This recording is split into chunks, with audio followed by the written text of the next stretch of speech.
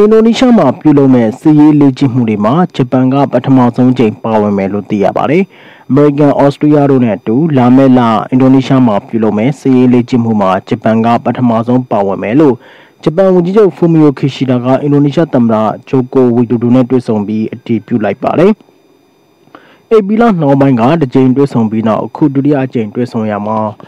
မိမိတို့နှစ်နိုင်ငံအနေနဲ့စွမ်းအင်နဲ့ပတ်သက်ပြီးပုံမှုအနီးကပ်ပူးပေါင်းဆောင်ရွက်သွားမှာဖြစ်ကြောင်းခေါင်းဆောင်နှစ်ယောက်ကသဘောတူခဲ့ပြီးအင်ဒိုနီးရှားဟာ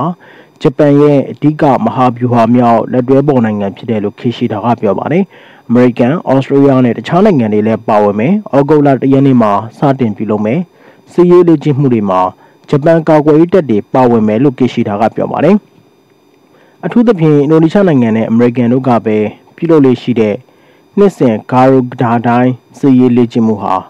အခုနှစ်မှာအတိုင်းအတာပုံမူကြီးမားမယ်လို့အမေရိကန်ကပြောပါတယ်။ အင်ဒိုပစိဖိတ်ဒေသမှာတရုတ်အင်အားကြီးလာတာကိုတိုက်ဖြတ်ရေးအမေရိကန်နဲ့ဒေသဆိုင်ရာတွေကကြိုးပမ်းနေစဉ်မှာဂျပန်လည်းပါဝင်လာတာဖြစ်ပါတယ်။ဂျပန်ကအခြေခံအဆောက်အုံစီမံကိန်းတွေနဲ့တဘာဝဘေးကာကွယ်ရေးအတွက်အင်ဒိုနီးရှားကိုအမေရိကန်ဒေါ်လာ318သန်းထုတ်ချေးထားတယ်လို့ခရှိတာကပြောပါတယ်။အင်ဒိုနီးရှားဟာဂျပန်ပို့ကုန်တွေအတွက်နံပါတ်14မြောက်နေရာမှာပဲရှိနေတဲ့ဈေးကွက်ဖြစ်ပြီး